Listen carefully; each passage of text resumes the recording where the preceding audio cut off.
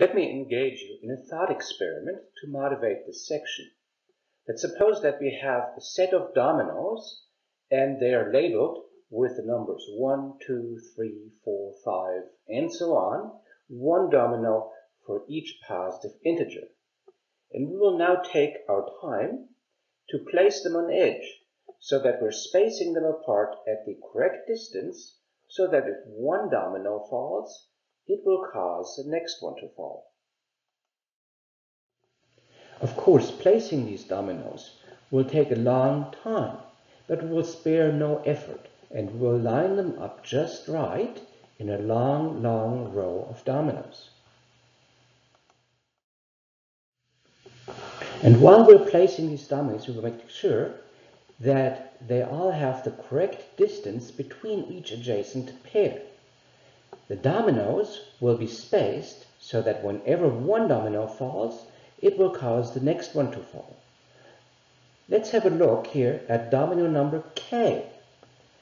The next domino, k plus 1, has been placed at the exact right distance from domino k, so that when, or better say if, domino k falls, it was, will cause domino k plus 1 to fall as well.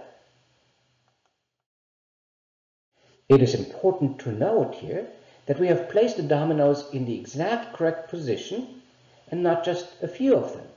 So for this reason, we must be sure that whenever we consider any domino, say domino K, it will be positioned in the correct way to also trip domino K plus 1 if domino K falls. And we now come to the feature presentation of this video we will make the first domino drop.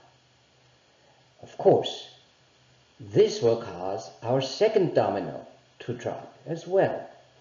And as the second domino falls, in doing so will cause the third domino to fall. And when the third domino falls, it will cause the next one, number four, to fall. And we see that this process must continue for all the dominoes.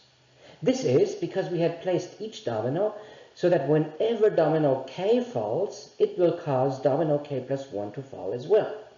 We are certain that all the dominoes have been placed so that k falling will cause k plus 1 to fall. And once we push our first domino over, it causes a cascade of falling dominoes. And this will ensure that eventually every domino will fall.